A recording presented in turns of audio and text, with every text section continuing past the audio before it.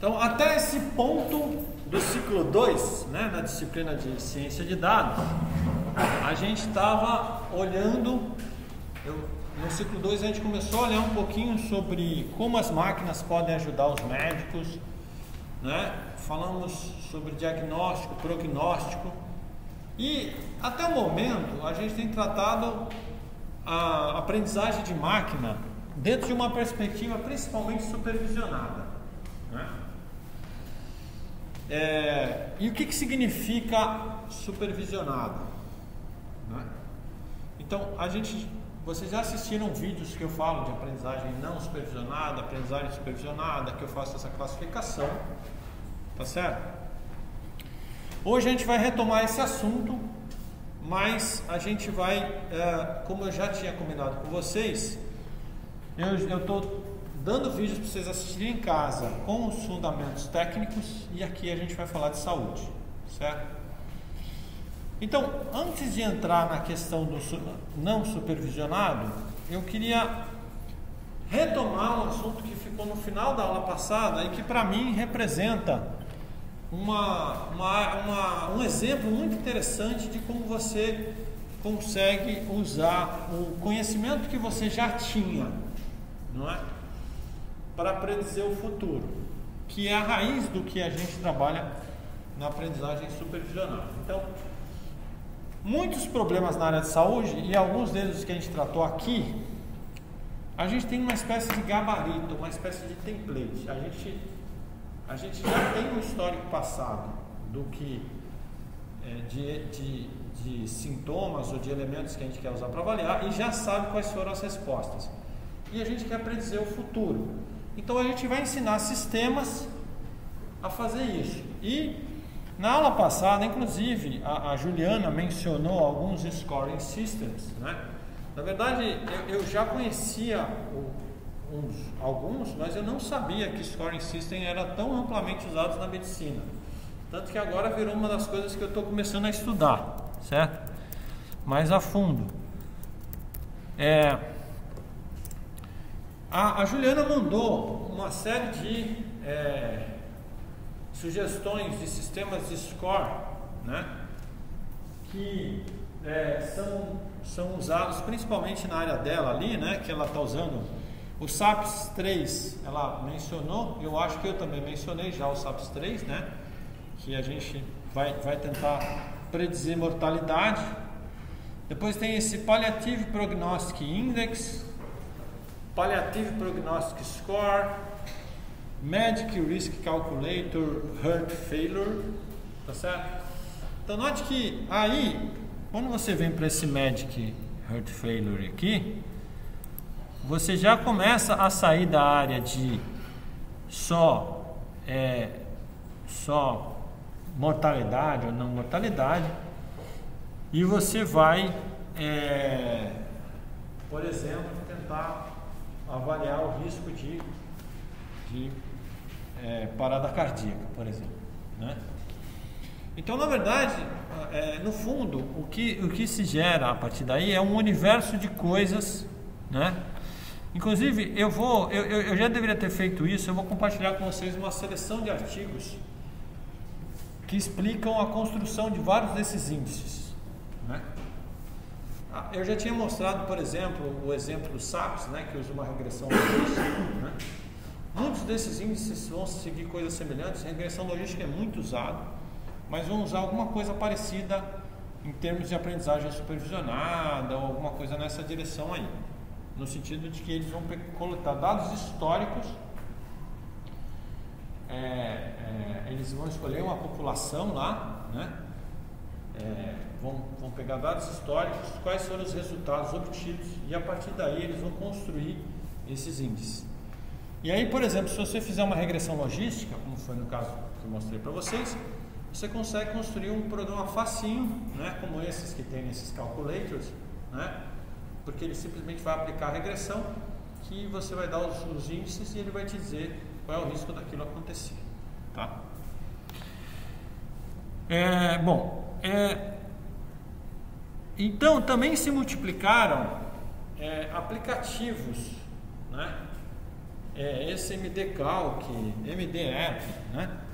Então, se você entrar num desses caras, por exemplo, se você entrar no MD Calc aqui, você vai ver uma, uma lista de, é, de é, indicadores desse tipo, né? Que os médicos podem usar né, para calcular coisas.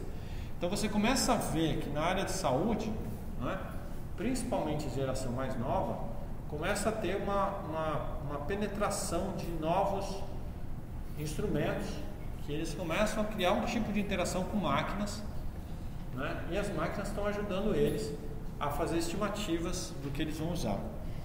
E essa forma de apresentar coisa é muito interessante, porque no fundo um dos desafios que eu ainda acho que estão em abertos na área de, de, de saúde, né, usando ciência de dados, é como você vai interagir com o médico.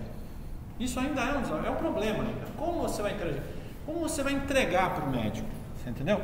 Porque o cara, o cara inicial, o cara que começa, ele diz assim: Ah, tá bom, eu vou fazer um sistema que vai dizer se o cara tem a doença ou não tem, ou que vai fazer isso. Ele pensa na interface mais basicona. E não necessariamente é isso que o médico quer. Né?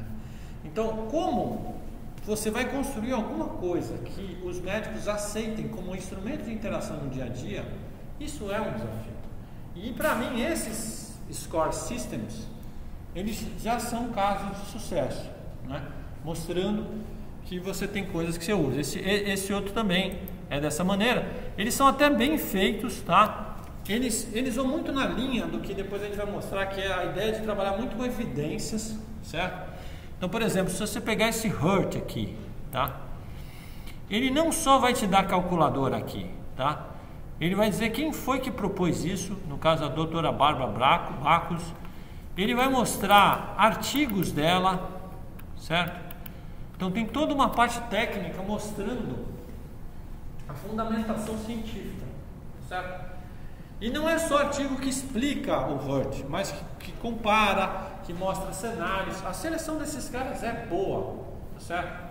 Então no fundo, no fundo ele dá para o cara uma, uma visão completa, seja da fundamentação daquela, daquele ferramental, quanto já o sisteminha onde você preenche os campos e, e ele vai te dar as respostas, tá certo? É, creator Insights, Evidence, tá vendo? Então é muito bem construído esses sistemas. E aí tem esse MD App. Esse MD App ele tem uma coisa que eu acho interessante, que ele é organizado em categorias, tá vendo? Isso é para você ver o tamanho que esse negócio está tomando, tá vendo? pediatria, nutrição, é, tá vendo? Então, é, e tem outra coisa que é interessante, você vai encontrar artigos, né? Por exemplo, esse aqui, olha, comparação do Grace, Hurt e Timmy. O Hurt foi aquele que a gente viu lá, né? E tem outros aqui. Aí os caras vão lá, eles comparam, né? Eles vão mostrar a aplicação disso. Olha a curva rock ali, ó. Então é esse ferramental que vocês aprenderam aqui, isso vira um vocabulário de dia a dia. Né? Tem três caras ali que construíram três indicadores, eles estão sendo usados no chão de fábrica. Vamos comparar esses caras, vamos ver o quanto eles são poderosos, sei lá, no meu hospital, né? E assim por diante, tá vendo? E aí você vai achar vários fazendo essas mesmas coisas. Por exemplo, é, eu estou eu tô preparando a página, não terminei, mas eu vou aplicar com os links para esses artigos, tá? Então esse Improving Palliative é, Healthcare também, ele, ele, foi um que eu mostrei para vocês, né? Que ele vai mostrando passo a passo para a construção do indicador dele, teste, curva ROC, e ele se comparou, né? Com outros indicadores. E tem um outro que é interessante, que é esse aqui, olha, que ele compara os, os os caras de prognóstico. Então o Apache, né, que é provavelmente o mais famoso, um dos mais famosos dos SAPs, tem outros aqui, Sofa e outros caras aqui. E novamente, o ferramental que ele usa para fazer o comparativo, né, também é um ferramental que a gente está acostumado, que a gente vai ver. Ele vai mostrar ali a área da curva ROC, ele vai mostrar vários é, é, é, indicadores comparando esses, esses caras, tá certo? Bom, então a gente está vendo que existe aí um universo interessante, né, que eu estou meio que retomando, né, e acrescentando algumas coisas do que a gente viu na aula passada. E esse universo, ele é um universo baseado no seguinte: eu tenho uma história gigantesca, um volume de dados imenso, não só me mostrando é, é, parâmetros ou features que a gente chama em aprendizagem de máquina, né? dados como, como sintomas do paciente, condições e resultados. E eu estou usando essa história para construir esses score systems ou sistemas de predição que a gente poderia chamar. E no dia a dia eu estou ajudando ali o médico na tomada de decisão, decidir o que ele vai fazer e tal. Tá. Então esse é um cenário né, que a gente viu. E quando eu não tenho um template, André, o que, que você está chamando? Na verdade, eu, eu, eu, fiquei numa dificuldade de saber que nome eu daria para isso aí, tá certo? Porque unsupervised learning, na minha opinião, ele é um, um, um, um, subconjunto de técnicas que servem para esse tipo de problema, tá?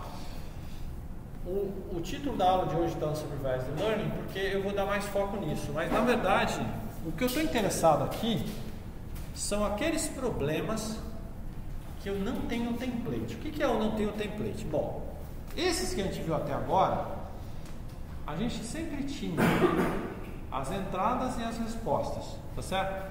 E a gente queria preparar um sistema para usar o histórico onde eu tenho as entradas e respostas passados para o futuro, certo? Agora imagine um cenário onde eu tenho entradas, mas eu não tenho as respostas, certo? E mesmo assim, eu quero que a máquina me ajude a, res, a, a resolver algumas coisas, que é o, é o tipo de categoria. Alguém consegue imaginar problemas desse tipo, em que a máquina vai me ajudar a descobrir coisas que não se conheciam antes, certo? Alguém consegue imaginar esse cenário? Quando você tem, por exemplo, um conjunto de pessoas e você avalia para determinadas pessoas alguma doença é, atacou um determinado grau e outras pessoas foi em outro grau, né? Você não, você não tem uma justificativa simples do que pode estar acontecendo. De repente, olhar para exames de sangue, coisas nesse sentido, você eventualmente consegue classificar elas de alguma forma. Esse é um exemplo excelente, tá? É, na medicina ainda há muito, ou na saúde de uma forma geral, a gente ainda tem muitos problemas exatamente dessa categoria. Né? De que tá categoria que a gente está falando? São problemas, tá certo? Em que a gente é, não sabe, não tem a menor ideia, tá certo? Ainda de como vai resolver, tá? Então esse problema, por exemplo, tem uma doença que tem comportamentos diferentes, por exemplo, né? em pessoas. Okay. Né? E eu vou mostrar exemplos aqui. Pô, mas a doença tem comportamentos diferentes, mas o que está gerando esses comportamentos diferentes? Tá certo? Então, esse é o tipo de problema que é diferente dos problemas que a gente viu, por quê? Porque a pergunta, o que, que está gerando isso, está em aberto. Eu não tenho no passado dados com essas respostas que eu vou treinar uma máquina, ela vai aprender e vai me, dizer o futuro. Não, eu quero que a máquina me ajude a descobrir a resposta. Tá certo? Então é um universo onde eu estou expandindo as fronteiras do conhecimento da área de saúde. E esse é um problema diferente. Tá? Então o que vocês têm que entender hoje não é só a técnica, não é só a classificação, mas o tipo de problema que você pode resolver junto com a máquina. E isso a gente vai estudar tanto nessa parte da aula quanto no próximo ciclo que a gente vai falar de ciência de redes. Que eu vou mostrar que tipicamente um problema de ciência de rede vai nessa direção de você descobrir coisas junto com a máquina. Tá?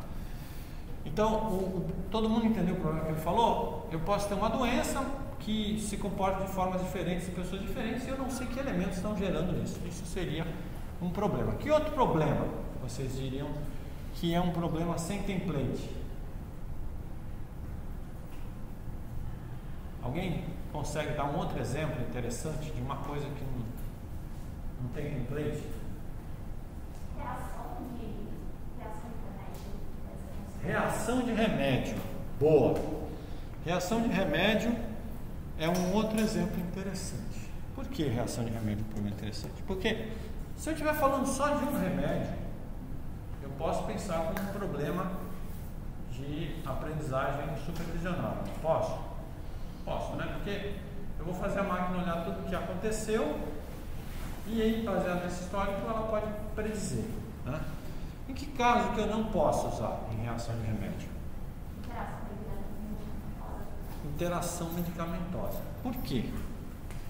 Porque, apesar de interação medicamentosa ser documentada, porque existem sistemas como sistemas de onde você reporta reações adversas a medicamentos, né? Nos Estados Unidos a FDA faz isso, no Brasil a Anvisa faz isso. Você pode é, é, é a Anvisa, é a Anvisa, né? É a Anvisa. Você pode reportar interações é, adversas entre medicamentos. Mesmo assim, nem sempre o paciente tem consciência de que aquilo está acontecendo porque ele está tomando dois medicamentos. Às vezes ele acha que é só por causa de um medicamento, né? Ele já estava tomando um, começou a tomar o segundo, e aí ele começou a tomar o segundo, ele acha que é por causa daquele, e ele reporta só aquele, e não sabe que ele estava tomando um outro, que pode gerar essa interação. Então, às vezes nem o cara que reporta tem esse conhecimento. E por isso você vai ter um universo de problemas onde você não, é, é, é, não conhece os resultados. E aí eu vou só fazer um marketing, eu não vou entrar em detalhes, porque tem um vídeo que eu vou botar para vocês assistirem, que eu mostro esse exemplo em detalhes. Tá? Eu tenho três vídeos que mostram três problemas interessantes na área de saúde. O primeiro problema, é, eu não sei se, eu acho que não dá para classificar exatamente como aprendizagem não supervisionada, mas dá para encaixar como um problema onde você usa ciência de dados para resolver um problema que você não tem a resposta, tá? E esse problema é justamente como é que você consegue, apesar de ser uma predição, né? Ela usa uma técnica que não é, é, é, um, é um evento adverso que não está, não está na, na minha base de treinamento, ele vai inferir isso, tá certo? Esse vídeo do TED Talks vale a pena vocês assistirem, tá certo? Ele mostra exatamente como ele faz análise, ele vai analisar dados né, desses sistemas que reportam eventos adversos para descobrir eventos adversos da interação de dois medicamentos que não estavam, não tinham sido documentados. Então ele vai descobrir esse evento. Então note que isso é diferente da aprendizagem supervisionada, porque ele não pegou uma base aprendeu um negócio e está predizendo com isso. Ele vai usar um método estatístico. Nesse caso, eu não vou detalhar aqui, porque senão eu vou perder muito tempo, mas é baseado numa técnica de detecção de sinais, tá? Aqui eu estou mostrando sobre é, sistemas que você, você reporta eventos adversos. Ele pegou mega bancos de dados, né? ele jogou dois bancos, um com 1 milhão, 851 mil, 171, outro com 300 mil registros, que é o do canadense. E ele, é, aqui, eu não vou entrando em detalhes porque o vídeo que eu falo eu, eu mostro isso. Aqui eu mostro um exemplo de uma coisa que eu mencionei na outra área, que é a importância de você ter um vocabulário controlado. Na verdade, aqui eu vou até um pouco mais longe, falo um pouco sobre ontologias e outras coisas. Se der tempo, depois eu, eu falo um pouquinho sobre isso. Ele tem uma sessão excelente mostrando como ele lida com a qualidade dos dados, o viés, tá certo? Então ele mostra coisas super interessantes, como por exemplo, o medicamento da moda que está acontecendo agora, ele é muito mais reportado do que medicamentos né? Por exemplo, vacina. Vacina da Covid.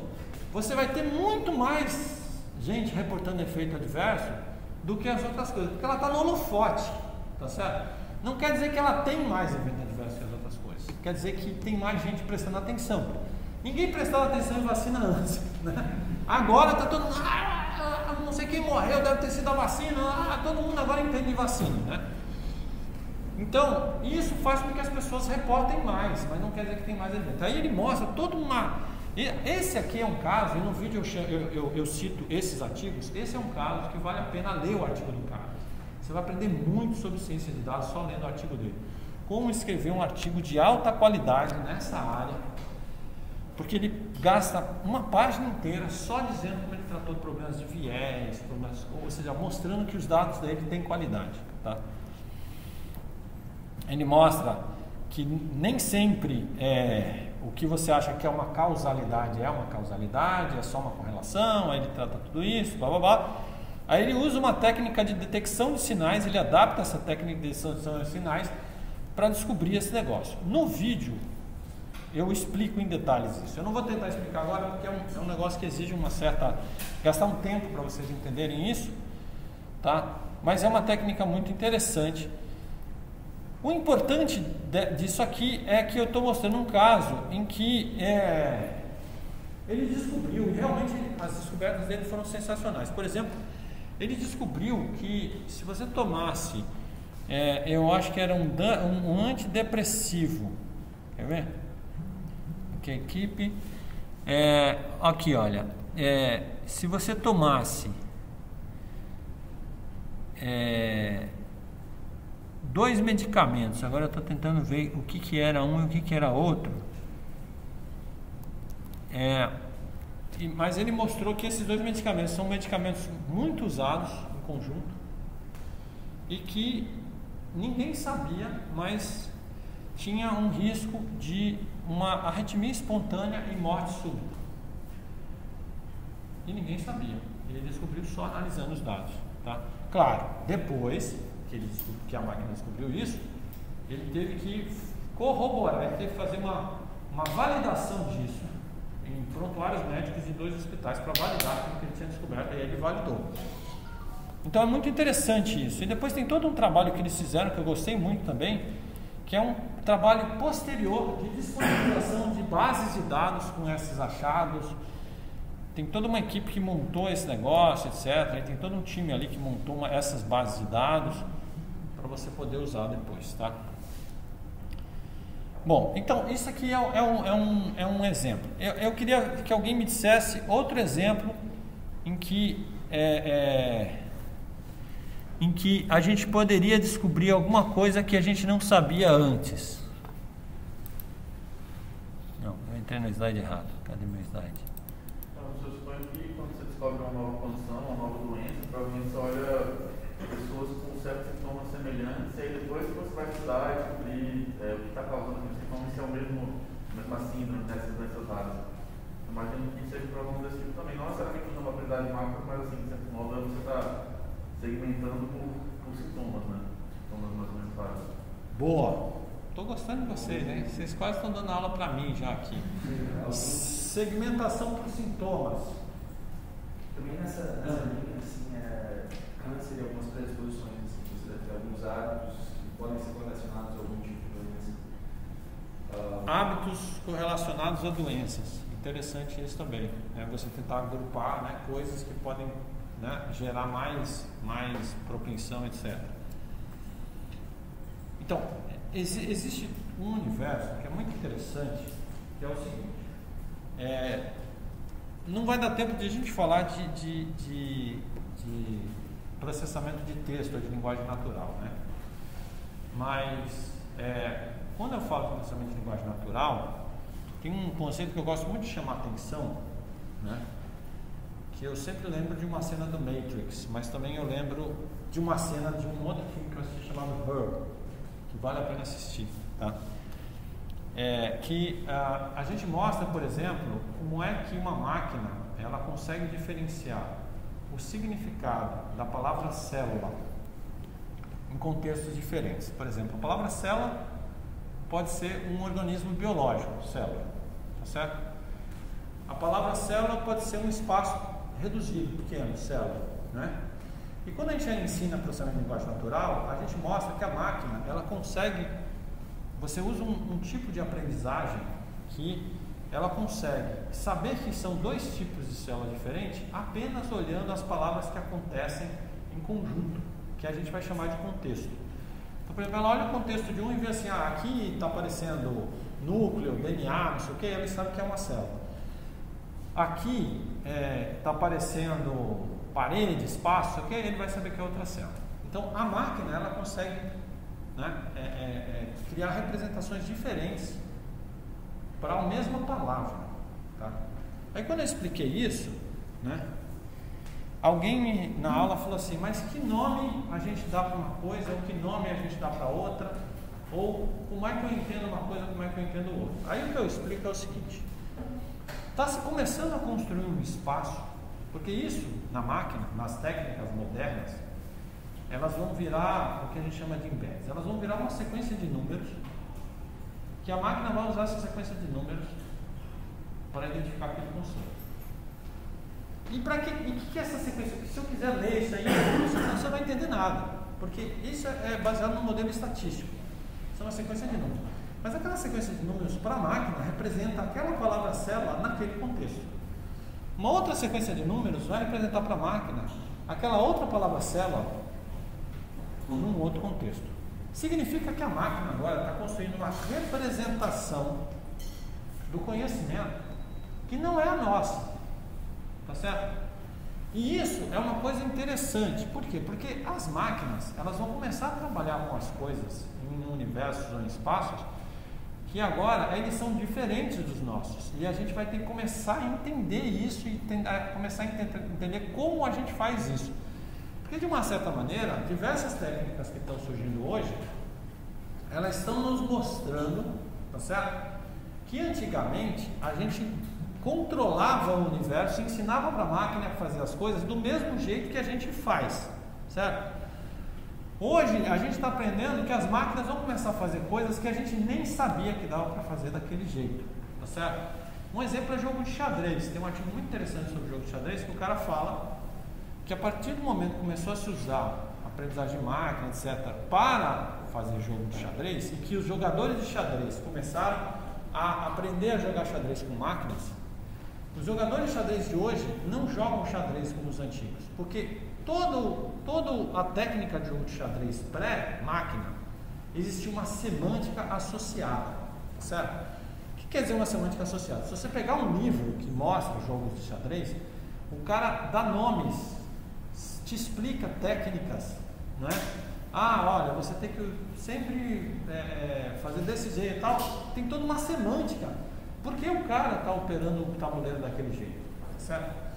Para a máquina, isso pouco importa. São probabilidades, são números, e ela vai criar uma técnica baseada em probabilidades. E aí o cara diz, putz, mas eu não imaginava que dava para jogar xadrez desse jeito. Né? A mesma coisa está acontecendo em outras áreas. E muito dessa parte que a gente está aprendendo vai nisso. Por exemplo, ah, eu quero pegar um conjunto de sintomas e dizer que isso aqui é alguma coisa que eu não sei o nome ainda, mas eu quero caracterizar isso. Não é? A máquina pode me ajudar a fazer isso, mesmo sem eu saber o que é. Demência, por exemplo. Demência, né? Tem alguns tipos de demência que tem nome, como Alzheimer, né? Mas tem outros que eu não sei o que, é aquilo. Talvez ainda não tenha nome, talvez daqui a 10 anos alguém vai descobrir a causa, tá certo? Mas enquanto isso, a máquina poderia ajudar a gente agrupar, dizer, ó, tem essa galera aqui que tem esses sintomas aqui, que é diferente dessa galera que tem esses sintomas aqui, que é diferente dessa galera que tem esses sintomas, e a gente poderia prestar atenção no grupo. É, existe um, um termo muito interessante na, na, na, na saúde que se chama Symptom Cluster. Inclusive isso a gente vai depois explorar quando eu falar de ciência de redes, porque a gente vai retomar o problema de Symptom Cluster. Tá certo? A ideia do Synth Cluster é uma ideia mais ou menos intuitiva, não é? Que é, um grupo de sintomas ele tem uma tendência a ocorrer em conjunto, tá certo? E às vezes eu consigo saber a causa, né? Por exemplo, é, é um, um, um exemplo típico que a gente usa um jogo que a gente desenvolveu lá no museu, né? Porque eu já falei que eu sou diretor lá também, no Museu Exploratório de Ciências. né? A gente tem um jogo lá que se chama Zombie Hells. E. Não, Zombie Venom. E eles têm que descobrir quais são os, as causas, qual foi o animal peçonhento que, que mordeu que picou a pessoa. E aí, é, é, se for uma cobra, é, uma jararaca, tem um conjunto de sintomas que acontecem juntos ali, né? É claro que tem um que às vezes não acontece, ou acontece em menor intensidade, maior e tal, mas geralmente tem um conjunto de coisas que vão acontecer em conjunto, tá certo? Se for um escorpião, tem um outro conjunto de sintomas, tá certo? Nesse caso, esse conjunto de sintomas eles vão me ajudar a chegar no diagnóstico. E quando eu uso aprendizagem supervisionada, a máquina vai aprender exatamente esse padrão, né? Esse conjunto, não sei o que e tal. Mas tem vezes que eu encontro um conjunto de coisas, mas eu não tenho nome para aquilo, tá? Ou eu, esse conjunto aparece dentro de uma doença, por exemplo, na área de oncologia, né? Muitas vezes eu sei que a pessoa está passando por um câncer, tá certo? Mas eu, um conjunto de sintomas vai me ajudar a interpretar melhor o que, que como isso pode modificar, por exemplo, os resultados no tratamento do paciente, etc, etc. Tá? É, então, é, você ser capaz de pegar pacientes e detectar esses clusters de sintomas, tá certo? E tentar entender como esses clusters de sintomas podem se relacionar com coisas, né? É uma coisa que é interessante, né? Então tem vários artigos que eu estou citando aí, por exemplo, esse artigo ele mostra uma técnica de clusterização hierárquica, tá? É, então, o que, que ele fez? Ele está trabalhando com pacientes que têm câncer avançado, né? E aí ele vai pegar ali os, é, os diversos sintomas que esses caras podem ter e ele vai começar a descobrir que existem grupos distintos, clusters distintos de, de pacientes que estão sendo tratados por câncer avançado, tá certo? E vai entender que esses grupos eles podem ter características diferentes, eles podem ter, por exemplo, evolução na doença diferente, tá certo? Eles podem ter vários cenários diferentes e muitas vezes a descoberta desses clusters antigamente era feita manualmente e hoje em dia a máquina pode ajudar a gente com algoritmos. Tá? É, tem esse artigo que eu achei bem interessante, né? É, que ele vai trabalhar é, com symptom clusters dentro da área de doenças cardíacas. Então vocês estão vendo que o pessoal começa a pensar como eu posso usar essa ideia, né? Do, do aprendizado supervisionado, né? ou não supervisionado, né? Então, por exemplo, aqui, ó, deixa eu mostrar para vocês. Aqui eu fiz aqui uma seleção de artigos, né? Então essa aqui é o Systematic Review System Clinical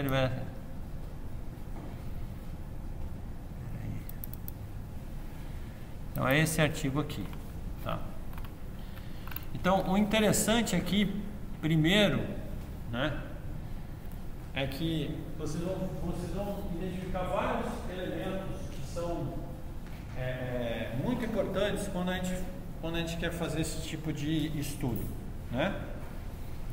É, a primeira coisa que vocês vão ver né, é é, é a parte de por que nós estamos fazendo isso. Tá? Então, por exemplo, nesse caso aqui, ele quer identificar symptom clusters, certo? Porque eles, você pode identificar melhor é, a experiência do paciente, né? Se conseguir é, fazer symptom clusters aí, né? Que elementos, vamos imaginar que vocês fossem, aí tem vocês não podem ler ainda o spoiler, certo? Imagine que vocês fossem fazer esse trabalho agora. Tá? Por exemplo, é, vocês vão, vão chegar num hospital né? e vocês querem levantar, né? É, se pacientes têm perfis diferentes, condições diferentes para fazer esse system cluster, certo? É, o que, que vocês acham que seriam elementos importantes para vocês fazerem esse tipo de trabalho? Que coisas vocês levariam em consideração? É. Hã? Relacionar não só sintomas, mas também algumas características da, da pessoa. Pode ser, você está você tá relacionando uma característica, né? Então, as características específicas, bom, tem várias, né? Talvez a gente teria que entender melhor de doença cardíaca, mas o que eu estou querendo saber é o seguinte: imagina que eu tenho na fonte de dados, um sistema de informações, tá certo? Como a gente fez na aula retrasada, né? Que elementos você acha que essa, essa fonte de informação tem que ter para que você consiga é, é, é, é, é, clu- clusterizar as coisas, fazer esses clusters? Quais são os elementos que vocês acham que seriam importantes? Acho que dados de exame, assim, por exemplo, nível de colesterol, nível de é, açúcar no sangue, mais glicose no sangue. Acho que esses, assim, esses dados clínicos assim, são muito importantes. Por exemplo, sei lá, diabetes, por exemplo. Colocar no cluster de diabetes, você precisa saber qual o nível de glicemia da pessoa, esse tipo de coisa. Tá, legal. O que mais? Dados de exames. Isso é uma coisa importante, né? Então, o que ele chamou a atenção aqui, né? Precisa ter lá colesterol, tem que tratar, certo? É, o cara vai ter sintomas, né? Por exemplo, né? eu estou querendo fazer um cluster de sintomas. E como é que vocês acham que eu descrevo esses sintomas?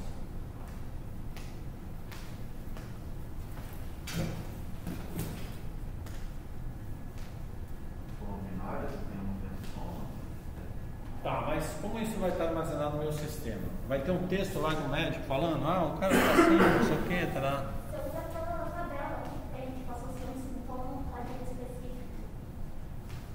Exato. Então, aqui, eu, eu, vou, eu vou repetir isso várias vezes no curso, e vocês vão entender que essa é, hoje em dia é um dos pilares de vocês conseguirem fazer qualquer coisa quando a gente trata de, de analisar dados médicos. Aqui, por exemplo, vocês vão ver que ele está citando o seguinte. É, Para ele conseguir é, classificar os sintomas, ele usou o MESH. Tá vendo?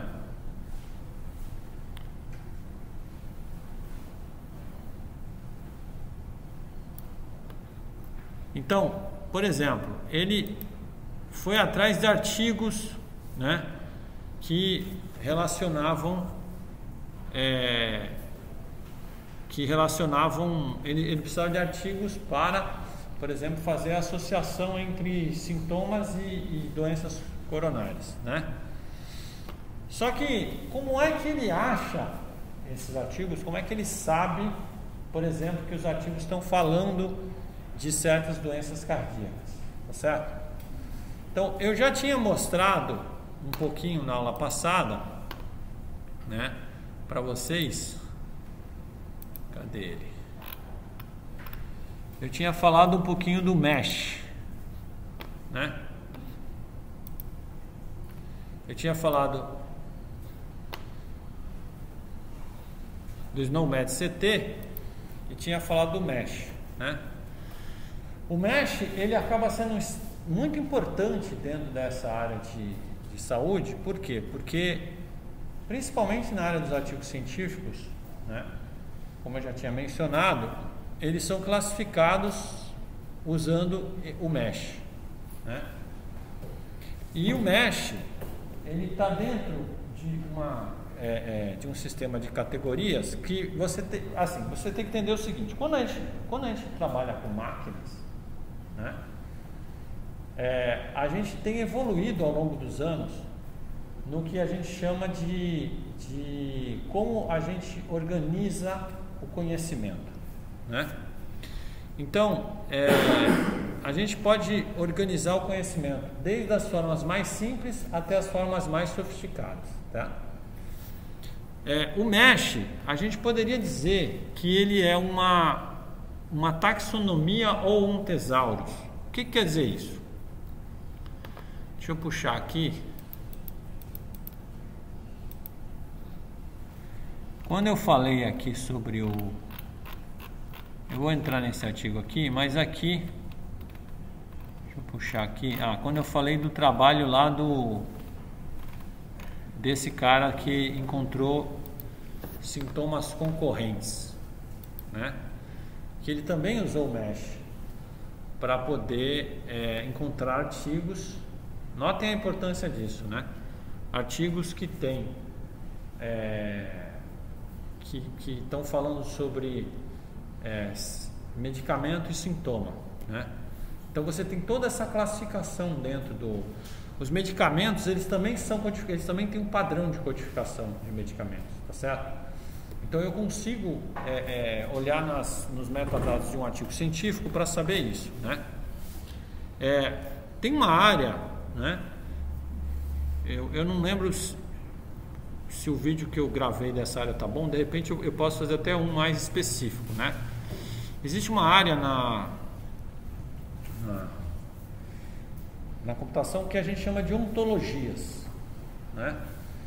E a ideia de ontologia é que você pode, é, você pode formalizar a representação de conhecimento de tal maneira que as máquinas consigam usar esse conhecimento. Tá? E essa formalização, ela tem vários níveis. Tá? Na verdade, quando a área de ontologia surgiu, e eu trabalhei muito nessa área, a gente achava que a gente ia trabalhar no nível máximo, que ia ser sensacional e que a gente ia revolucionar a humanidade. Né? Aí a gente descobriu que quanto mais você quer formalizar o conhecimento, mais caro isso fica. Tá? É muito caro isso. Depois eu posso até mostrar os detalhes. Por isso que hoje a formalização do conhecimento ela tem vários níveis e muitas vezes você tenta usar o nível que atende bem para você. Então existe um nível que a gente chama de catálogo. O que é um catálogo? Um catálogo é só quando eu listo é, é, coisas, né? Então eu é o que a gente poderia chamar de um vocabulário controlado. Tenho um conjunto de palavras controladas e você está obrigado a usar uma daquelas palavras que eu estou usando. Tá certo? Então, eu começo a. a eu, eu, tenho a, a, o conceito de catálogo. Um glossário, ele vai ser uma, um, catálogo um pouco mais sofisticado, onde eu, eu, vou, eu vou fazer agrupamentos, eu vou fazer associações ali de palavras, né? É, por exemplo, jogos, aí em jogos você tem jogos de, campo, não sei o que e tal. E taxonomia, que é uma das coisas que são mais usadas né, nessa área, e a gente poderia classificar o, o MESH como uma taxonomia, tá? É quando você cria relações hierárquicas de mais específico e mais genérico, tá certo? Então, por que, que eu estou dizendo que o, o MESH ele é uma taxonomia? É, se você pegar o Mesh, né, você vai ver que ele tem esse código aqui, que é um código hierárquico, tá vendo? Tá. Então, qualquer doença cardiovascular seria C14. Então, eu, eu poderia, por exemplo, dizer assim: ah, eu quero pegar todos os artigos científicos que falam de doenças cardiovasculares. Então, eu posso levar um nível maior de generalização, eu vou usar o C14, tá? Ah, não, eu não tô, é, é, eu não tô preocupado em qualquer, né? Eu quero coisas que dizem respeito a só ao coração, certo? Então, C14, 280. Ele vai acrescentando um nível. Né? A isquemia miocárdica. Aí você vai botar mais um nível. Aí você vê que tem vários subníveis. E assim você vai construindo, tá certo? Então esse sistema, ele serve para duas coisas, na verdade. Ele serve tanto para você, de uma certa maneira, eu posso pegar um termo mais baixo e saber, olhando a hierarquia, o que, que aquilo é, né, dentro da minha classificação, onde aquilo se posiciona, como eu também posso fazer trabalhos trabalhando com níveis mais altos. Por exemplo, se você pegar esse artigo científico aqui, ele vai dizer para você o seguinte: olha, a gente está pegando essas categorias aqui, ó. Por exemplo, ele está pegando heart disease, ou ischemic heart disease, myocardial infarction, por exemplo, ele está pegando. Então, se ele está pegando myocardial infarction, é, myocardial infarction está aqui, tá vendo? Tá? Ele pegou esse código aqui, tá certo? Significa o seguinte: se alguém escrever um artigo sobre inferior wall myocardial infarction, ele está pegando, usando a hierarquia, tá certo? Ele está tá dentro da classificação dele. Então ele consegue ajustar os níveis do que ele quer selecionar para fazer a análise dele, tá? Então no PubMed você pode é, nesse Search Builder aqui, ó, eu estou mostrando que no PubMed você consegue, né, é, por exemplo, pedir para o PubMed retornar artigos, né, que são é, myocardial infarction e chest pain, por exemplo, tá? E aí ele vai te retornar usando a terminologia do mesh, certo? Do mesmo jeito que você tem, você pode fazer isso numa interface web, você também pode fazer isso é, através de uma API programática. Se alguém quiser depois aprender mais sobre a API programática, eu tenho um vídeo só sobre isso. Então eu consigo fazer um programa de computador que acessa o PubMed e pede os artigos X e, e faz, baixa todos esses arquivos tudo automático sem você meter a mão, tá certo? Que é o que esses caras que fazem esses surveys eles fazem. Vocês podem fazer perguntas, tá, gente? Como o Mesh ele está ligado no PubMed, então você vai ver que ele é muito usado nesses sistemas, tá certo? Como é, tanto ele foi usado no ele foi usado naquele estudo lá do dos sintomas que acontecem em conjunto para poder é, associar medicamentos e sintomas, né? Tem uma parte aqui que ele fala isso, não lembro onde é que é, mas ele, ele, ele fala que ele usa isso. Como é, ele vai ser usado na, na, nesse artigo que eu acabei de mostrar para vocês, para selecionar quais são as coisas que ele vai usar para fazer as clusterizações, certo? Então esse é um dos pilares. É, hoje em dia, quanto mais a gente conseguir sistematizar essas representações, muito mais a gente vai conseguir encontrar conhecimentos que a gente não conhecia. Né? Tá? E daí vocês vão ver que ele, ele vai mostrar para vocês como é que ele montou lá, né? Ele usou aqui os, os, artigos, aí tem critério de inclusão, critério de exclusão, extração de dados, e ele vai mostrar como foi que ele, ele criou os, os, os clusters, né? E, e aí tem artigos que são interessantes. Esse aqui ele só faz um, só é um exemplo de como é que é, é, ele, ele montou essa associação, né? Mas vão ter artigos como esse outro aqui. Um supervisor learn to é, subphenotype heart failure patients from electronic health records, tá certo? Esse artigo ele fez uma coisa interessante. Né?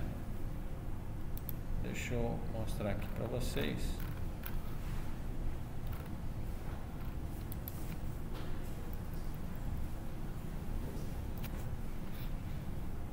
É, peraí, deixa eu abrir aqui.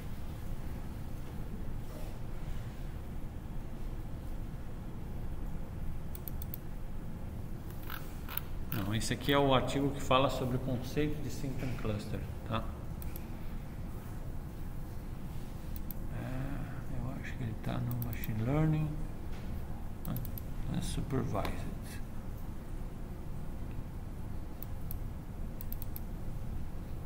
Tá. Então olha só o que, que ele fez aqui, ó.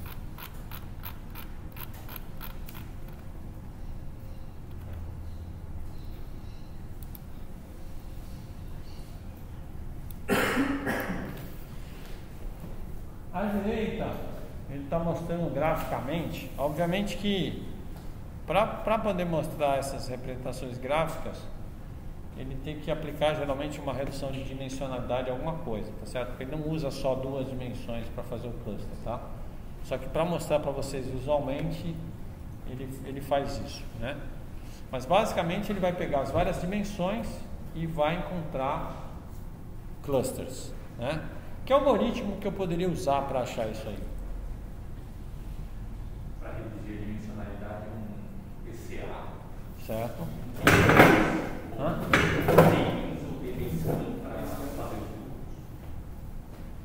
Certo. Bom, vamos supor que eu tenho duas opções, que são as duas opções que eu mostrei para vocês nos vídeos, que é o caminhos e a clusterização hierárquica. Tá certo? É, o, o, o que, que uma e a outra diferem? Que, quais são as duas questões que eu poderia usar para escolher? Por exemplo, teve um cara aqui que usou uma clusterização hierárquica, né? Teve um que eu mostrei aqui, que foi esse careta aqui, ó, que ele usou uma clusterização hierárquica, certo? E teve esse cara aqui que eu ainda não disse o que, que ele usou, mas o que que o que, que faria você dizer não? Um caminho ou uma clusterização hierárquica pelo que vocês aprenderam lá? O que, que vocês diriam? Esse aí? Esse aí tá de caminho mesmo. Tá, mas por que alguém escolheria um caminhos? Ah, o caminho ele, ele pega aquela posição, né, na- é distância do centroide dos. Então, por esse desenho aí, tá com cara de. Cada grupo tá pela posição, dá pra ver que tem um vermelhinho aqui, o azul aqui, o verde ali. É, a palavra posição que você usou, tá certo? É uma necessidade que nós mortais temos, seres humanos, de pensar isso no espaço. Tá? É essa necessidade. As máquinas. Eu, eu- eu citei o filme Her, né? No filme Her. Quem assistiu Her? Assistiram? É. Eu vou dar um spoiler. Infelizmente, eu preciso dar esse spoiler para vocês, para vocês entenderem meu ponto, né? chega um ponto que a máquina ela chega a um nível de conhecimento que a, a, o cara não entende mais e a máquina meio que fala assim não não isso aí é tipo assim agora eu já estou no nível que você o filme é legal eles não usam aquela ideia a máquina vai dominar o mundo vai matar os seres humanos mas é um ponto assim cara é, tipo você não vai mais entender porque agora eu estou num nível de, de de pensamento que, que você não chega mais, né? Então, eu, eu usei esse exemplo para dizer o seguinte: pensar coisas no espaço é só uma necessidade que o ser humano precisa para é, é, visualizar ou, ou- ou interpretar aquilo ali. Mas na prática, na prática, o que existe entre os conceitos é o que a gente já chama alguma métrica de distância. né? Eu até tenho um vídeo, eu acho, sobre isso que eu posso mandar para vocês. E essa métrica de distância não tem nada a ver com espaço, tá certo? Ela só guarda as mesmas características que teriam uma métrica de distância no espaço, mas não tem nada a ver com o espaço em si, certo? Essa é uma das coisas. tá? Então, quando você fala o caminhos, ah, mas o caminhos usa distância, a clusterização hierárquica também precisa medir distância, tá certo? E essas distâncias, elas, elas são ideias que a gente tem na nossa cabeça, mas no fundo é uma distância, certo? É, E a outra coisa é que o número de dimensões, né? quando você passa das três dimensões, não tem nada a ver com o que você consegue imaginar num espaço bidimensional, esse aí. Isso que você está vendo aí é só uma tentativa de mostrar alguma coisa para você graficamente, mas na prática ele pegou as. Bom, é, é, é, eu não falei aqui ainda, eu não falei sobre re- redução de dimensionalidade, né? Mas você imagina quando você fala de redução de dimensionalidade, é como se você tentasse pegar é, uma combinação daquelas dimensões que mais é, interferem na variação dos teus dados e fazer uma espécie de projeção. Né? É semelhante a um. É, é como se você tivesse o seguinte: é, vamos, vamos imaginar que tivesse um negócio inclinado assim, né? E que nessa inclinação tem uns caras ali que são os caras que realmente definem a separação das coisas e você consegue fazer. Eu estou simplificando muito, tá? Uma espécie de rotação para você conseguir ver isso num plano bidimensional, por exemplo. Mas na prática, na prática, isso pouco tem a ver com o mundo bidimensional, tá? Certo? É, mas, o, então vamos lá, o caminhos. Qual é uma das características importantes do quer. É, em princípio, eu preciso dizer quantos clusters eu quero, tá certo? É claro que eu posso fazer experimentações com É, tem, tem aqui, tem o algum método, né? Que você vai avaliando o cara e vê qual que é o menor por assim dizer. Porque na boa você precisa de grupos que os corpos, eles, de alguma forma, têm uma certa homogeneidade dentro do grupo e os grupos entre si são heterogêneos. Boa. Então você, vo- você tem ferramental para te ajudar a escolher um número, né? Mas, e, e esse ferramental pode usar métricas, pode usar o famoso método de elbow. Eu acho que eu falo desse método no meu vídeo, né? Eu mostro esse método no vídeo, né? Então você pode usar isso para você decidir quantos clusters são, são ideais, né? Tá? É, em relação a isso, o método hierárquico ele vai, ele, ele vai permitir que você escolha onde você quer fazer o seu corte, né? Na verdade. né? E essa escolha, é, quando você trabalha hierarquicamente, muitas vezes, para quem está tomando a decisão, ela pode ter mais semântica, né? no sentido de que eu consigo olhar como ele agrupou os dados e consigo olhar, olha, esse grupo aqui, porque, claro, eu posso avaliar somente pelo tamanho disso aqui, também eu explico lá no vídeo e tal, eu posso fazer essa avaliação para decidir onde eu quero cortar, mas eu também posso observar a forma como ele faz as, as agrupamentos, porque o, a clusterização hierárquica ela faz isso, e eu posso tomar as decisões baseadas olhando isso aqui, né, de como eu quero fazer esses cortes, como é que eu vou fazer, tá certo? É, aqui eu acho que ele usa hierárquica também, não, ele usa caminhos, ele usa caminhos.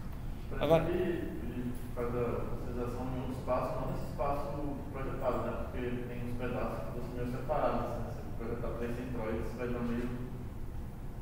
Exato, é isso. Ele, ele, fez, ele fez a clusterização no espaço com N dimensões e para apresentar graficamente ele faz uma redução de dimensionalidade só para apresentação gráfica. Por isso que eu falei que a apresentação gráfica é só para mostrar alguma coisa, assim, ela não está dizendo tanto sobre, né? Tanto que você está vendo um pedaço do. O que você deve estar falando é que tem um pedaço do preto aqui nesse, nisso aqui que você está achando que seria o verde, né? E tem um pedaço do verde no que você está achando que seria o preto. Isso é porque na hora que você reduzir a dimensionalidade, você pode ter perdido alguma informação de dimensão ali que, que faz esses caras ficarem mais próximos numa outra dimensão que seja. Então, tá? Legal? Tá, aí, é, o que eu gostei. Oi? Tinha 70 dimensões. Oi? Oi? O original desse tinha 70 dimensões por ano. 70 dimensões? Então, pois é. Tenta pensar em o que são 70 dimensões. A gente já conseguiu pensar em três, que é o nosso espaço. Aí tem gente que diz que a quarta é o tempo. Até dá para imaginar a quarta dimensão como tempo. E depois daí já era, né? É, 70 dimensões. Dá para fazer um filme. O Homem 70 Dimensional. O que eu gostei. Hã? Nem a teoria das cordas vai tão longe. É, exatamente.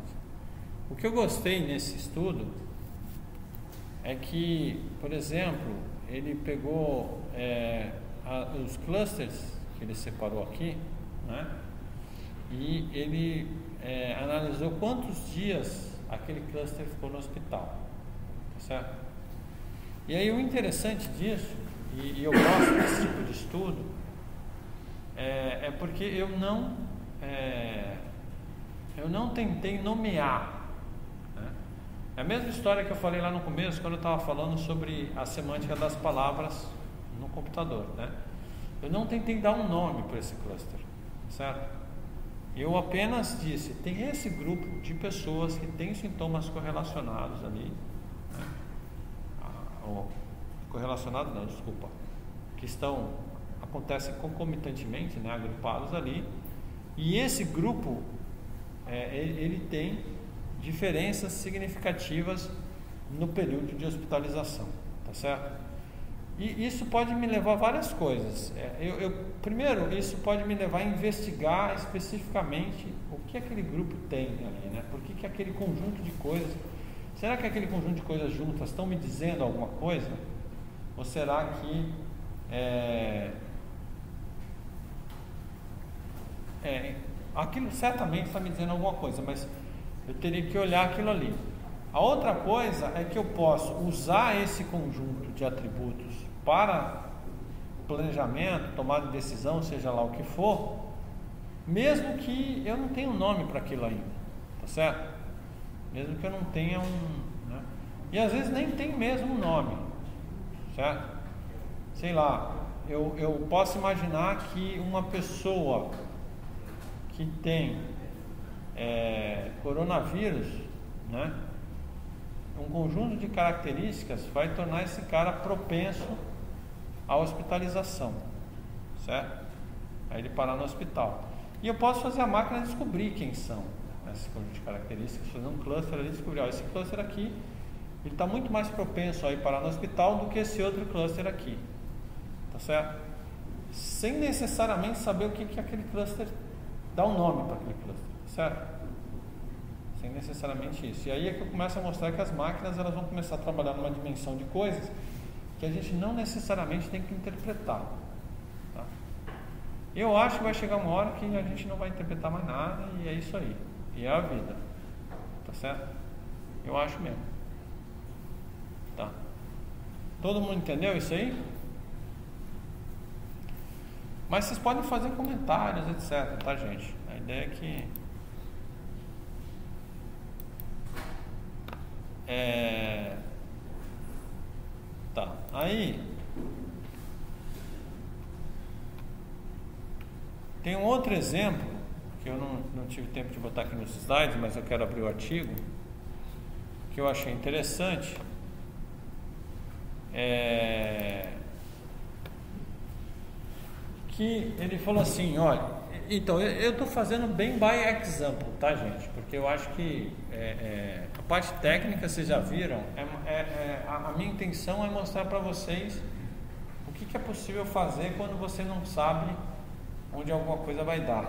Assim, alguma coisa vai dar no sentido eu não tenho um template para treinar minha máquina, né? eu quero descobrir um conhecimento. Então ele fala aqui, olha, ele está usando aprendizagem não supervisionada para descobrir é, subtipos da doença do Alzheimer a partir de prontuário eletrônico. Então, bom, é, aqui ele, ele vai mostrar o que, que ele usou, né? Isso, por isso é importante muitas vezes é, você fazer um olhar esses artigos, que é o melhor lugar para você descobrir, por exemplo. Primeiro, isso sim você vai ter que escolher. O que, que ele vai olhar para criar as categorias, certo? Então, por exemplo, aqui ele está dizendo que ele considerou é, os sintomas, tá? as comorbidades e os aspectos demográficos, tá? certo? Então, ele está usando esses três elementos para poder tentar é, fazer os clusters, certo? Aí ele fala que os sintomas e comorbidades, eles foram olhar que sintomas e comorbidades eles deveriam considerar baseado numa revisão da literatura. Certo?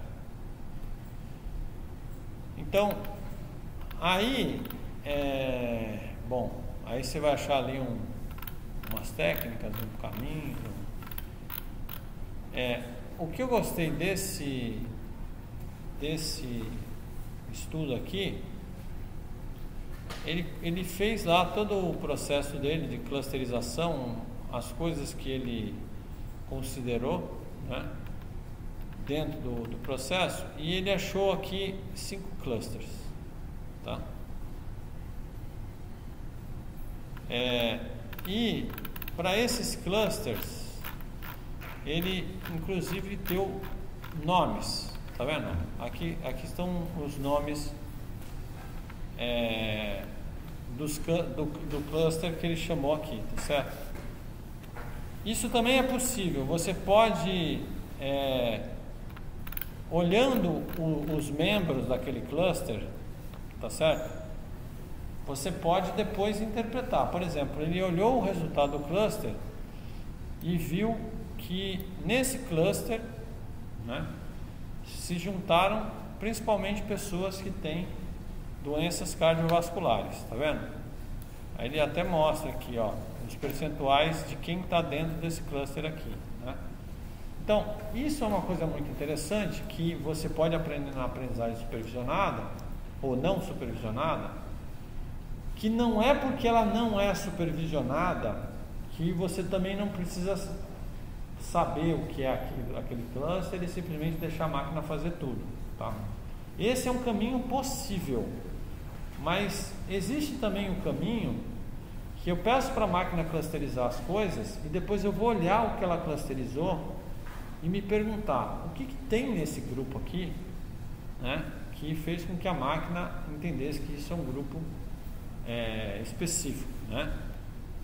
Então, é, esse cluster, por exemplo, é um cluster que aqui eles estão considerando sempre, né, Lembrando, nesse estudo estão sendo consideradas sempre é, as pessoas que têm Alzheimer, né? Mas ele, ele viu que o grupo das pessoas que têm Alzheimer e que têm doenças cardiovasculares, elas formam um cluster ali com características em comum, não é? Às vezes, é, você não consegue digamos assim, dar um nome, né?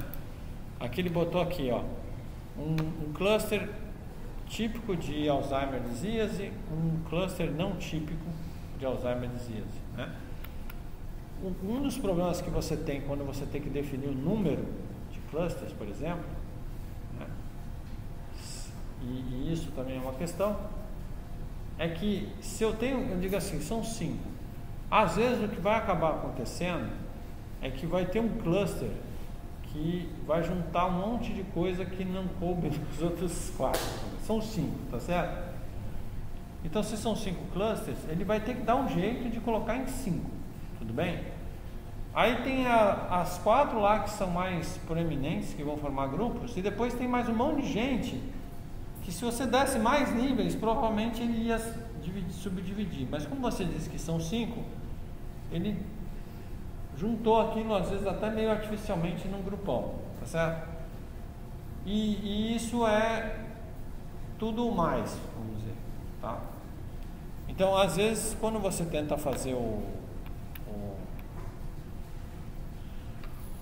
o, o, grupo, você não necessariamente consegue claramente dizer, olha, aqui dentro desse grupo tem pessoas assim. Às vezes é o que ocorreu, né? Por exemplo, aqui ele, ele, ele fez pessoal que tem cluster, né? Ou, desculpa, que tem cluster. O pessoal que tem câncer, porque ele viu que é, 43,27% dos que estavam nesse cluster tinham câncer ou problemas de memória. Então ele foi, foi juntando esse negócio e foi descobrindo. Professor, Oi. Na medida que você fez essa análise, posterior, né? criou os grupos, aí depois fez essas avaliações, por exemplo, esse grupo tem três características ali. É possível usar o que você tem de resposta do aprendizado não supervisionado para montar uma estrutura supervisionada, pra, uma vez que você já tem esses livros? Essa é uma boa pergunta, né? E eu devia até trazido um exemplo nessa direção, né? que ele está perguntando é: eu posso usar uma técnica não supervisionada para posteriormente é, usar isso para montar uma técnica supervisionada? O que, que vocês acham?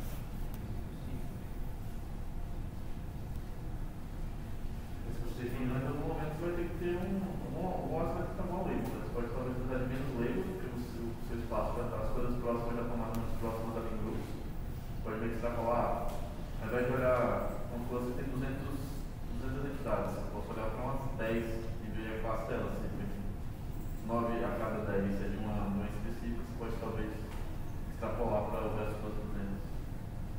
Eu acho que se você tiver mais dados para você poder validar esse sistema, você pode. Exato. Você- Se você tiver mais dados, tem a ver com a quantidade de dados Não, ou. não, tipo, é porque o, o, o não supervisionado, se você botar, tipo, por exemplo, se você tentar validar ele não vai ficar enviesado. É Depende, depende. Peraí. Então vamos uma questão por vez.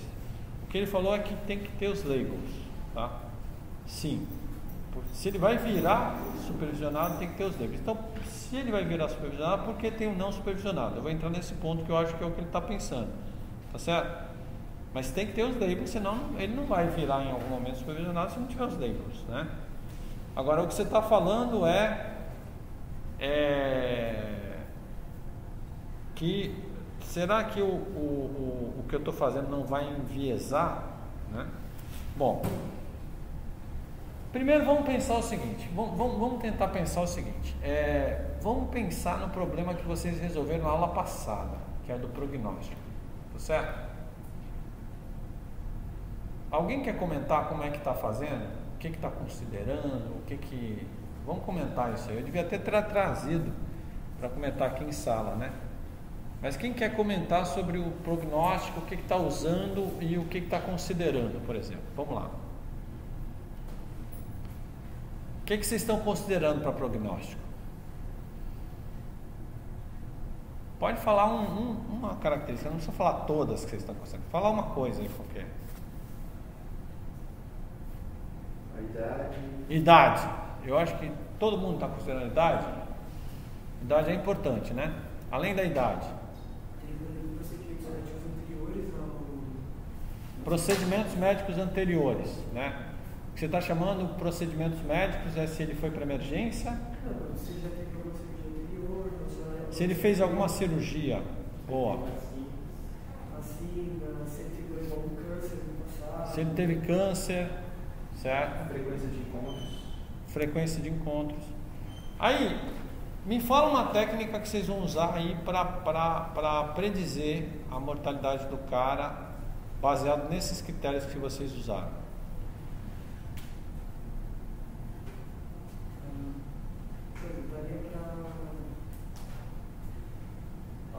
Eu daria Não, mas uma técnica de aprendizagem de máquina. Qual seria uma técnica que vocês usariam para poder predizer? Modelar os dados para os de mobilidade, se teve câncer ou não, modelar né? Cada dado e aplicar o. Não, ainda não, eu não cheguei na clusterização ainda. Eu estou falando supervisionado. Uma técnica supervisionada vocês usariam para isso. Tá, então a gente pega esses, esses dados e coloca- e pegar lá a situação morreu e não morreu, dessa doença, quando tem, não tem revisão logística decidir. Uma regressão logística, né? Então, para fazer a regressão logística, vocês poderiam. é, bom, eu, eu tinha falado na aula passada que vocês teriam que estabelecer um critério de mortalidade, né? É, e, na verdade, eu, eu, eu, eu, eu, devia ter trazido hoje, mas eu vou preparar isso para discutir com vocês. Se vocês pegarem essas métricas, esses scores que existem, eles vão definir o critério de mortalidade deles. Por exemplo, o SAPS. O critério de mortalidade é se o cara vai sair vivo da. Porque o SAPS ele, ele funciona para UTI. Né? O cara entra numa UTI, certo? O critério dele é se ele vai sair vivo da UTI ou não. Não, impo- não, tô- não importa quanto tempo, ele vai sair vivo ou não vai sair vivo da UTI. Esse é o critério dele, certo? Tem um outro trabalho que eu vi aqui que ele usou o critério nos próximos 30 dias a partir de um ponto X lá, que ele definiu, 30 dias ele tinha que predizer se o cara ia morrer ou não. Certo? O ponto X pode ser, por exemplo, é, se o cara teve um infarto, né? ele, ele, se ele vai estar vivo nos próximos 30 dias depois do infarto ou não. Tá certo? Então é, é, isso pode ser um, um critério. Mas aí o que, que eu vou fazer? Eu vou pegar uma aprendizagem supervisionada, vou treinar o modelo, tá certo? E aí eu vou predizer, é, baseado no, nos meus dados históricos. Como seria se eu quisesse usar o caminhos para isso? Como é, como é teu nome mesmo? Você fala, mas eu não Fábio. Hã? Fábio. Fábio, você já pensou se você quisesse usar o caminhos para fazer isso? Você conseguiria? Sei, eu acho. Se a gente considerar que é um ponto espaço aí, talvez possa ser possível, porque os dados numéricos, beleza, são coordenados.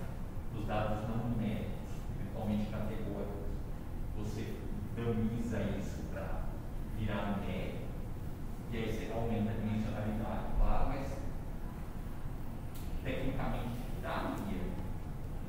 Então, vamos supor o seguinte. Uma hipótese que eu posso fazer é: há pacientes com grupos de características comuns, tá?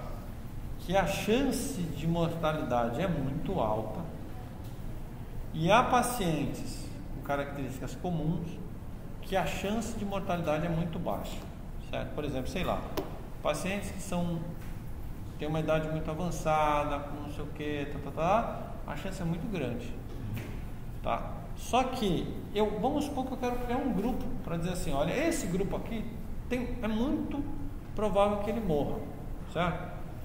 Então o que eu posso fazer? Eu posso pegar as características, as mesmas características que vocês estão usando para predição, eu posso fazer uma clusterização. E aí eu vou criar clusters, certo?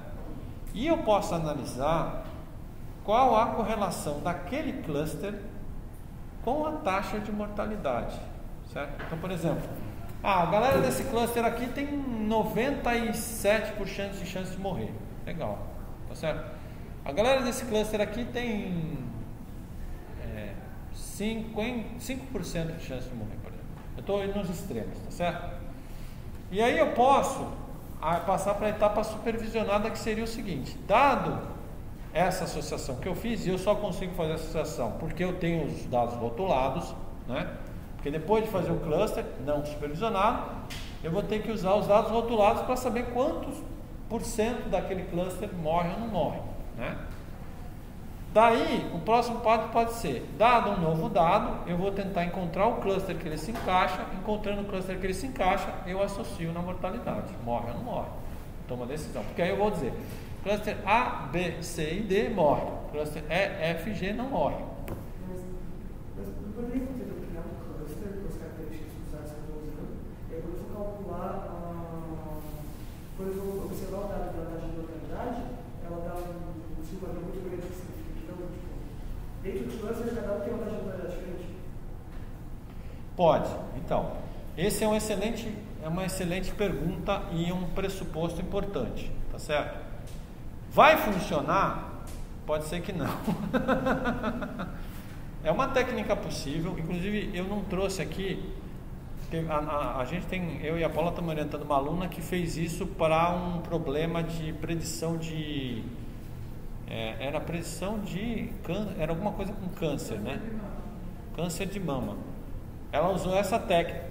Não foi ela que inventou, mas é uma técnica assim, mas ela mostrou usando essa técnica. Ela, ela, ela pegou o, os pacientes de câncer de mama, clusterizou, fez os clusters e ela conseguiu fazer essa associação e deu um bom resultado de associação. Mas pode ser que não funcione. Não, pode ser que não funcione. Então pode ser que você, na hora que fizer os clusters, vão ter uns clusters lá que é como você falou. Ele não conseguiu encontrar clusters que podem ser decentemente associados a, a, a um grupo e aí, aí não dá para usar. Um problema fundamental disso que é se você lá um sintoma, o seu sinal é super espaço. Assim, você, na verdade, a importância de cada sintoma para associar uma específica é meio espaço. Então, por exemplo, uma doença vai estar associada só com um subconjunto muito pequeno de sintomas. Então, quando você faz uma esse cálculo à distância, você está dando o mesmo peso para todas as, as dimensões. Isso não é necessariamente verdade, né? quando você faz a classificação. É Então, verdade. Você parametrizar cada um dos sintomas e aí seria para a parte supervisionada, né? Você precisaria de um sinal supervisionamento fazer isso. Mas você acaba diluindo talvez o, a associação de uma, uma variável com um, um sintoma, com uma doença. Você está dando, por exemplo, se a pessoa tem uma, uma feature que é só tomou suco de laranja ontem, e está positivo. Peso dessa feature vai ser o mesmo de se ela tem positivo com você na família, por exemplo. Porque não está cada dimensão. Pode ter esse de problema. Mas quando você pega vários sintomas, tem lá um vetor de sei lá, muitas, muitas centenas de variáveis, o peso de uma fica 1 sobre 100. É verdade. Isso que ele está falando tem a ver com o que a gente vai. Que hoje em dia já tem até o nome de feature engineering, né? Na- a escolha de quais são as features que você vai usar. Não é só o feature engineering, porque você está considerando que o método em si ele teria que ser plástico para definir a importância de cada elemento, né?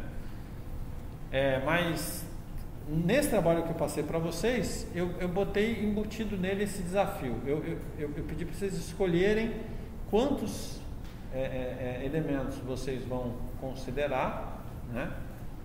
E, e, e aí entra a história do seguinte: quando vocês escolhem quantos elementos vocês vão considerar, é, isso é um equilíbrio complexo, né?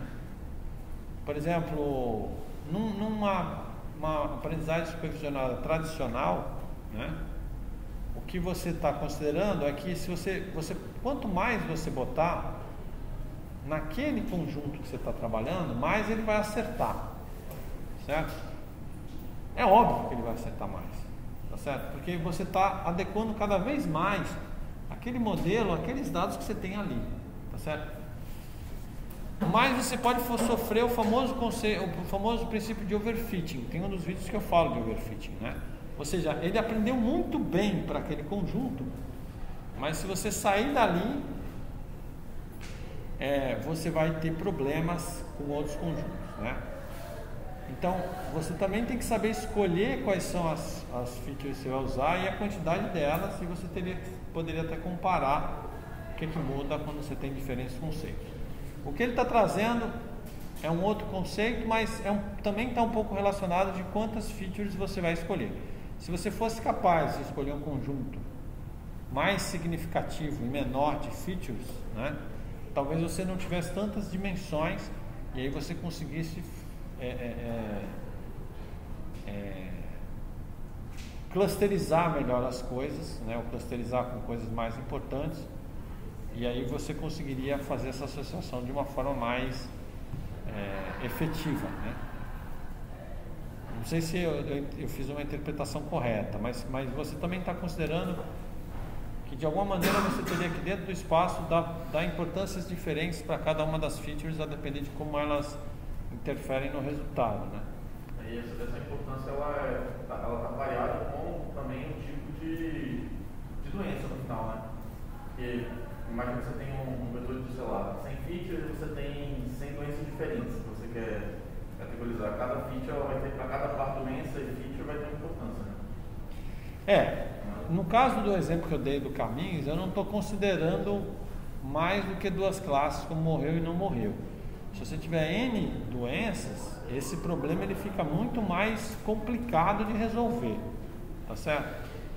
E eu também não estou dizendo que é a técnica mais adequada para fazer isso. Eu só estou respondendo a questão de será que eu po- depois posso usar né, esses clusters para ah, aprender uma coisa? A resposta é sim, eu poderia fazer isso, tá certo? É, é, de uma certa maneira eu posso nomear os clusters e, e- e, né, e, e usar isso, tá certo? Tudo bem? Professor, mas também pensando, refletindo sobre isso, tem o seguinte ponto, né?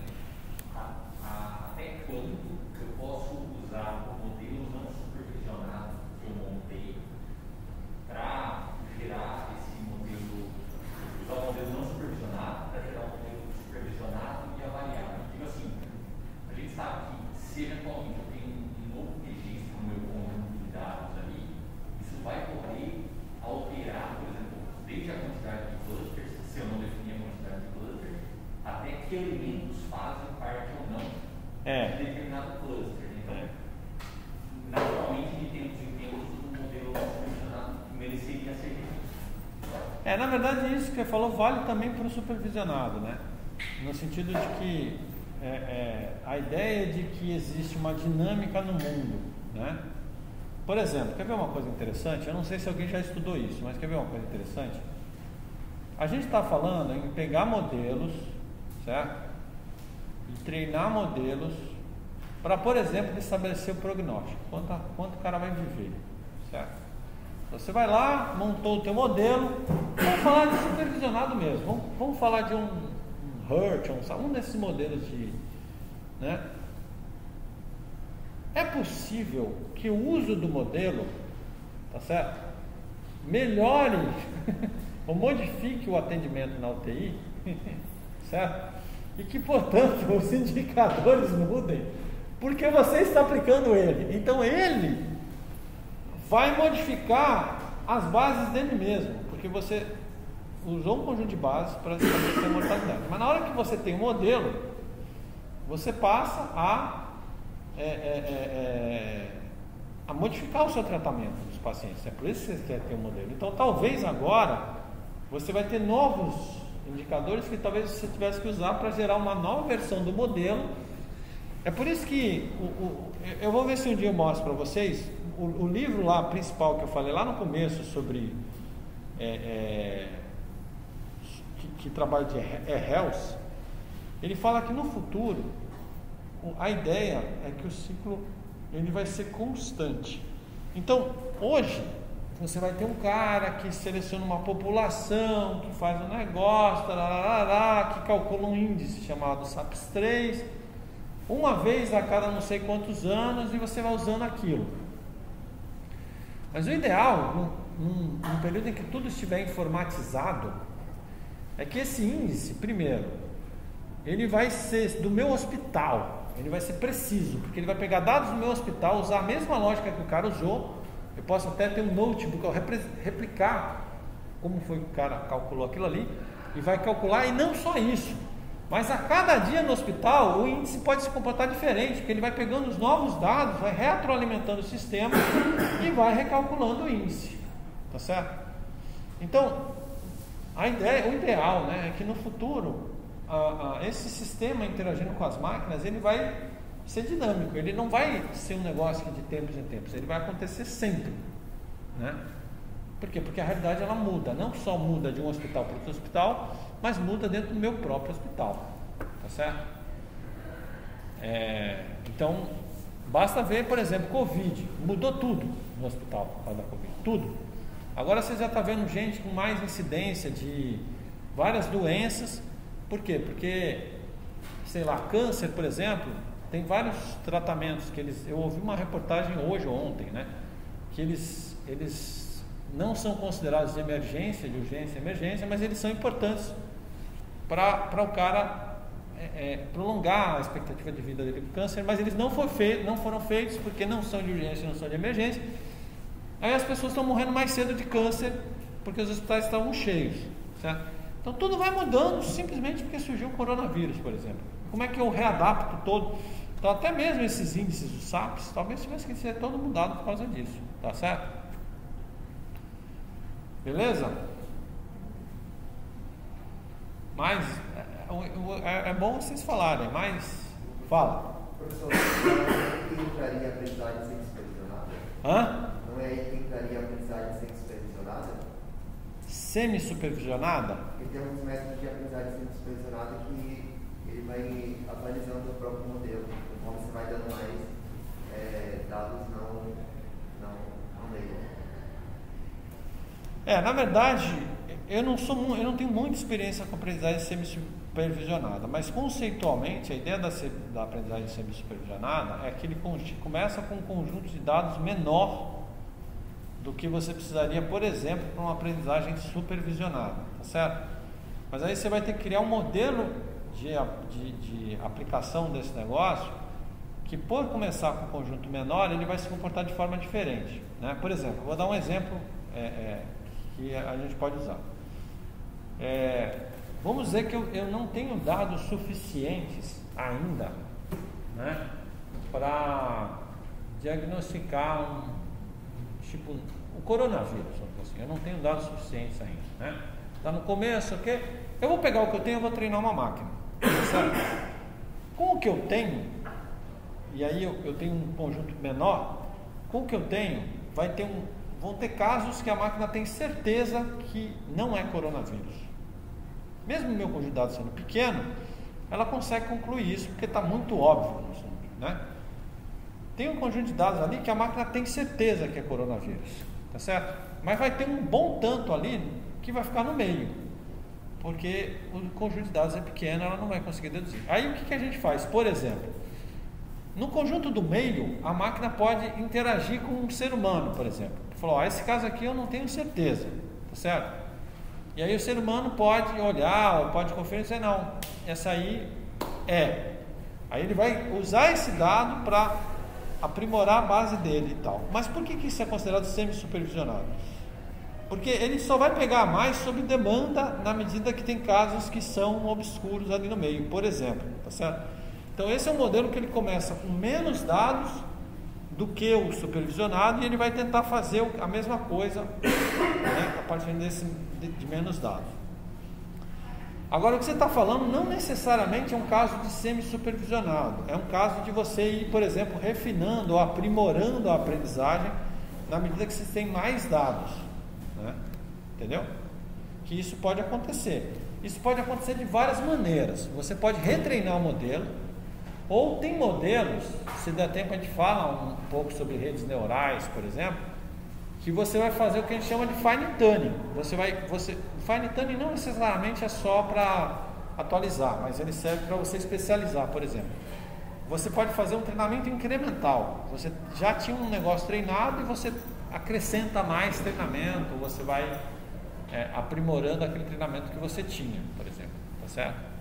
Que também é possível, certo? Vocês estão vendo que o universo é grande, né? E a vida é curta, mas é isso aí, tá certo? Tudo bem? Tá. Então, eu vou concluir, na verdade, dando um spoiler para os próximos capítulos. Por quê? Porque, na verdade, essa sessão de aprendizagem não supervisionada, ela é um- a conexão que a gente vai fazer com o próximo ciclo, né?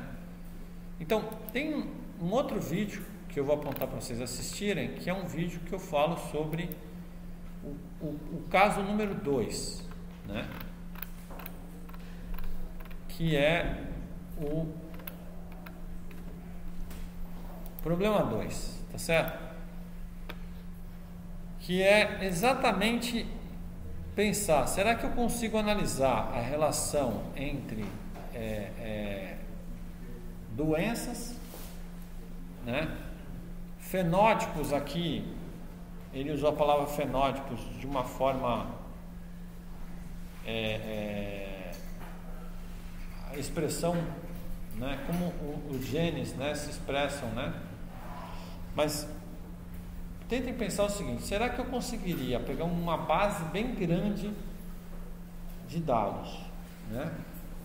Por exemplo, artigos científicos, conseguiria estabelecer correlações entre sintomas, doenças, eu conseguiria agrupar, né?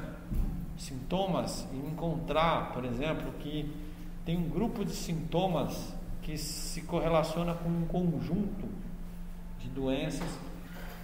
Vocês, vocês vão olhar para mim e vão dizer assim: isso está parecendo um problema clássico de, de aprendizagem supervisionada, né? Ou não supervisionada, concorda? Eu estou querendo descobrir um certo conhecimento que eu não conheço e essa coisa de você fazer esses clusters, ou esses agrupamentos, eles se parecem muito com o que você acabou de mostrar de aprendizagem não supervisionada, tá certo? por essa ser uma disciplina de ciência de dados, a gente achou importante trazer para vocês uma outra perspectiva, certo? Que é diferente da aprendizagem de máquina, mas que também é muito tem, tem crescido muito nessa área de ciência de dados, que é será que eu consigo representar meus dados de uma maneira diferente e usar essa representação para descobrir características e relações entre esses dados? Então, uma forma de você representar os dados né, é você imaginar que você é, tem relações ou conexões invisíveis entre eles. Ou seja, existe uma rede, certo? E quando eu falo a palavra rede, e essa é uma área que vai ser introduzida no terceiro ciclo, né? A rede ela pode ser física real, ela pode existir de fato. Por exemplo, você pode usar isso para estudar uma rede de neurônios, onde a rede realmente existe, né? Ou ela pode ser uma rede abstrata, né? Por exemplo, rede social é o exemplo mais comum. Né? Uma pessoa é amiga de outra pessoa, mas você não está vendo nenhum barbante conectando as duas. Essa relação amizade é uma relação abstrata. E pode ser inclusive uma relação que eu resolvi arbitrariamente estabelecer como uma conexão, que por exemplo pode ser um sintoma e uma doença. Eu posso dizer que eu quero conectar os dois por uma conexão abstrata que é quando aparece essa doença, aparece esse sintoma. Certo? E por que, que eu resolvi, no final da aula de hoje, né, dar esse spoiler da aula que vem? Porque o problema é muito parecido com o que a gente estava falando quando a gente fazia com cluster. Só que mudar a representação agora, ela, ele vai me dar capacidades que eu não tinha antes. Certo? Que capacidades são essas? Então, eu não vou falar hoje sobre ciências de redes, porque isso já vai ser do terceiro ciclo. Eu vou só me ater ao problema, depois tem um vídeo que eu detalho como isso funciona. Também não vou detalhar aqui como é que isso funciona. Tá, então eu vou pular essa parte toda de ciência de redes, tá? que é o assunto da próxima aula. Mas eu quero que vocês tentem imaginar o seguinte: é, imagine então que é, eu peguei, eles pegaram nesse estudo 7 milhões de artigos do PubMed. Tá? E eu tinha mostrado para vocês que os artigos do, do PubMed, eles, eles são classificados por, é, pelo MESH. Né? Eles fizeram várias filtragens e essa é a parte que dói no coração da ciência de dados. Dos 7 milhões, eles aproveitaram 849.103. Né? É isso aí, é a vida, certo? E é, eles conseguiram desses artigos extrair 4.442 doenças, 322 sintomas. Tá? E aí o que, que aqui eu estou mostrando no PubMed, que é aquilo que eu já mostrei, né?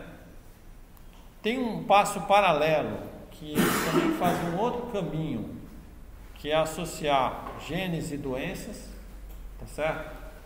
Mas eu não vou entrar nesse detalhe aqui, né? Mas o que, que o cara começou a fazer? Ele começou a imaginar que o que existe entre uma doença e um sintoma é uma associação abstrata ali, uma conexão invisível que existe entre elas. Né? E quanto mais vezes aquele sintoma aparecer associado àquela doença, ele tornou essa conexão mais forte. Tá? Daí, vocês imaginam que eu tenho o que a gente chama de um grafo bipartido, onde de um lado eu tenho doenças e do outro lado eu tenho sintomas. Tá certo? Bom.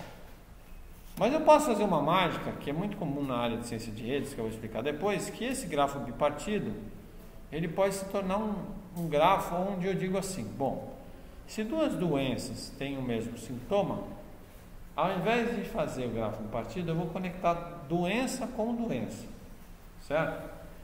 E a conexão de doença com doença vai ser baseada no sintoma que elas têm em comum. Então só vai aparecer uma conexão se aquelas duas doenças elas tiverem um sintoma em comum. E a força da conexão é derivada, tá certo? Da força que as doenças têm é, com os sintomas. Né? É o que ele considerou aqui como similaridade por sintoma. Né? Certo? Bom, aí aqui tem toda uma parte que eu explico no vídeo, que eu não vou entrar aqui agora, porque essa hora vão, que é a parte de, de interação entre proteínas, etc. Que ele usou para. Ele fez um outro caminho de similaridade, porque esse caminho que eu mostrei foi a co-ocorrência do sintoma e da doença em artigos científicos no PubMed. O outro caminho que ele fez foi usando a parte genética, tá certo? Que é a interação de proteínas, que eu não vou entrar em detalhes agora, ele fez uma segunda rede, tá? E dessas duas redes, ele gerou uma rede final. Mas o que, que ele fez na rede? Né? É o que ele chamou de Human Symptom Disease Network. Tá? Aí vocês vão ver uma coisa que na área de redes é muito semelhante ao que a gente fala de cluster, que é detecção de comunidades. Vocês estão olhando essa rede e o que, que vocês percebem nessa rede? Que tem é, doenças que estão muito mais conectadas entre elas né, do que conectadas com outros grupos. Tá? Que é, um, é, um, é uma, um conceito semelhante ao conceito de cluster, só que agora a gente está falando de conexões. Tá certo? E eu posso então olhar e dizer assim: o que, que essa comunidade está me falando? O que, que tem nessa comunidade? Eu não encontrei na outra comunidade. Né? E, é, como eu, eu, vou mostrar lá no artigo que vocês vão ver, é, ele, ele vai encontrar é, é coisas muito interessantes de conhecimento que não sabia antes. Por exemplo, a, a, a similaridade de doenças baseadas nos sintomas, tá certo? É, tem uma forte correlação com ah, o número de, de associações genéticas compartilhadas, proteínas que interagem, tá certo? É, e aí depois tem a diversidade das manifestações da doença tem correlação com a conectividade dos padrões das proteínas. Então, é, aí ele começa a mostrar, ele começa a olhar esses clusters que o sistema aprendeu e começa a, a, a ver o que, que ele consegue aprender daqueles clusters que ele descobriu. Eu estou chamando de clusters, mas na verdade são comunidades. É diferente, mas eu estou trazendo aqui porque ele se relaciona muito com a ideia de que, aquela ideia que eu falei na aula, existe uma fronteira que eu não conheço, eu não sei o que eu vou encontrar e a máquina vai me ajudar a explorar essa fronteira. Né? E aí ele começou a ver é, uma interdependência, né? É, que os sintomas é, é, correlacionados em grupos maiores mostram uma interdependência entre mecanismos homeostáticos, tá certo?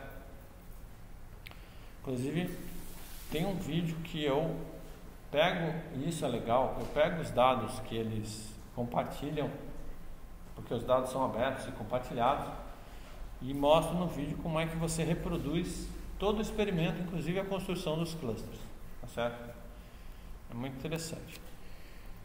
Então esse final foi só para mostrar para vocês que é, existe, né, concluindo o argumento inicial, né, que é da aula de hoje, enquanto a gente viu um universo grande, né, em que eu sei onde vai dar, né, eu sei, existe um outro universo tão grande quanto, né, que é esse que a gente chamou aqui de problema sem template, vamos chamar assim, né?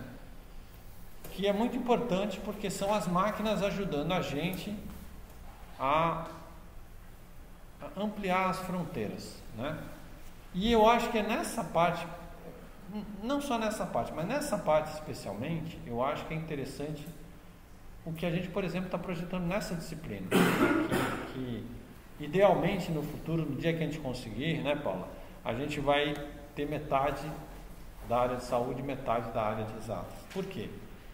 Porque no fundo, eu acho que a exploração desse, dessas fronteiras, desse universo, ele vai depender dos dois grupos começarem a entender a potencialidade de, disso aí, trabalhar em conjunto para fazer esse negócio é, expandir. Né? Então, é, é, não basta o cara da computação, o cara da área de exatas, entender conceito de cluster, por que, que o cluster pode ser usado para isso, para aquilo.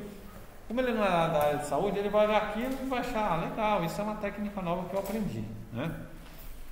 O cara da saúde, por outro lado, ele está ali na linha de frente, ele está vendo o problema.